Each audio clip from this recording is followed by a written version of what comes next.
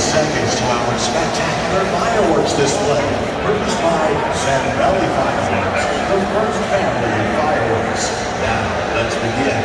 Ten, nine, eight, seven, six, five, four, three, two.